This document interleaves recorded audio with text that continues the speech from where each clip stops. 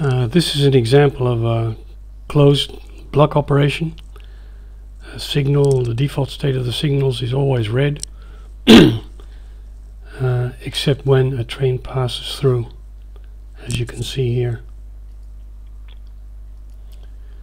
1139 is passed through block 2, the signal behind, signal 1 is red, signal ahead is green, signal further ahead is yellow, but after that they would all be red and as the train 1135 passes through the signals behind will go to red and remain red. That's the uh, situation with the closed block. The signals are always red except when a train passes through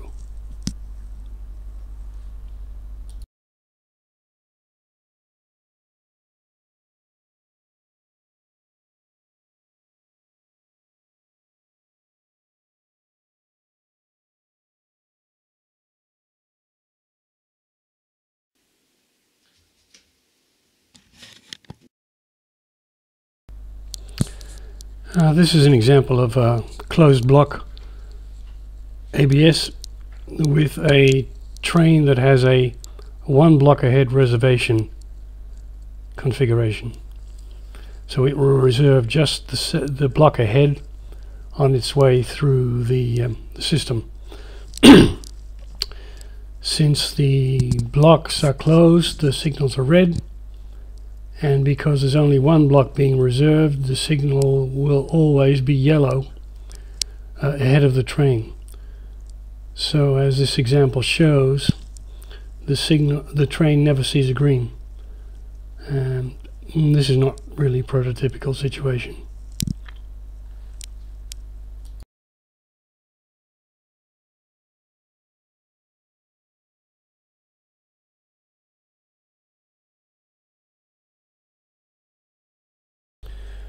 Um, this is an example of open block operation.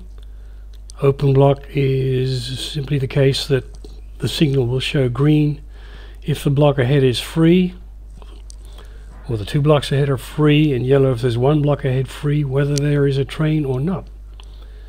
And as you can see here the block the signals were green the train is passing through 1139 is now set its signal behind to red course as it should be. And then it will uh, pass through. And as it gets uh, further along the signals behind it will go yellow. As you can see now signal 1 is yellow because block 2 is free. And as it passes further along eventually the signal 1 will go to green because both block and 2 and 3 uh, become free as the train passes all the way through as you see uh, now. So signal 1 is green signal 2 yellow. Of course signal 3 is red because the train is in block 4 that's open block.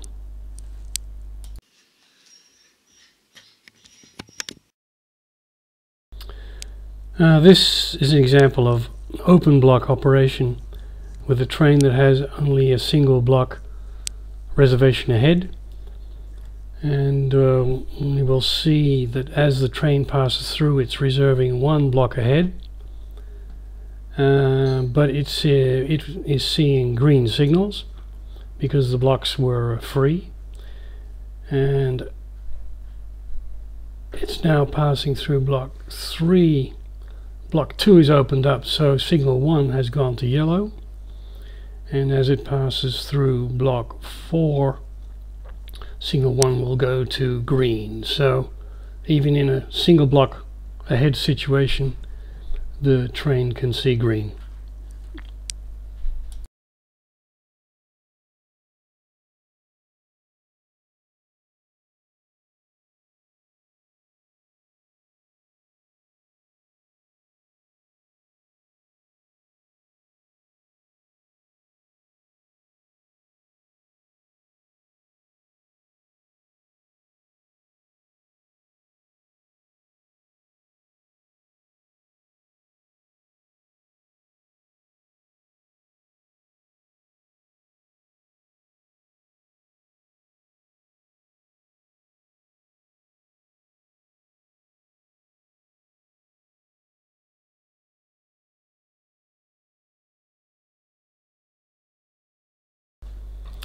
Uh, this example shows the general situation where uh, train uh, tracks will split and uh, combine. Um, and open blocks can really only be used in a one directional on one directional track uh, with a single block connecting to a second or third single block. So there's no possibility of trains coming from another direction uh, onto the onto that track. So in this particular case, blocks two and three can be open blocks. They will show green if uh, free, and the other blocks will be closed and generally show red uh, because it's never quite sure what uh, direction the train is going to come from, or there may be more than one train, as shown in this example. 1139 from 1 to uh, block 7 and 1140 from block 5 through the uh, single corridor to uh, block 6 but you can see that uh, block 2 and 3 after the trains have passed through will show a green and a yellow uh, because the blocks are free and there's no possibility of a train getting to block 3 or 4 without going through block 2. two. So a combination of open and closed is the norm.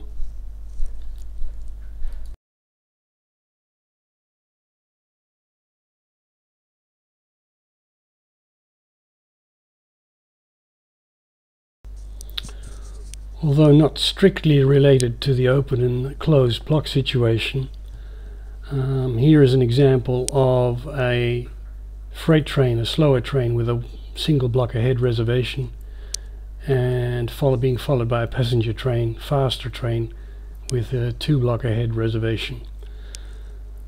And uh, now the, this is an example of how a faster train with a two with a two block reservation can pass a slower train on siding with a single block reservation because it will be able to reserve the joint block in this case block number four will be able to reserve that joint block earlier than the slower train.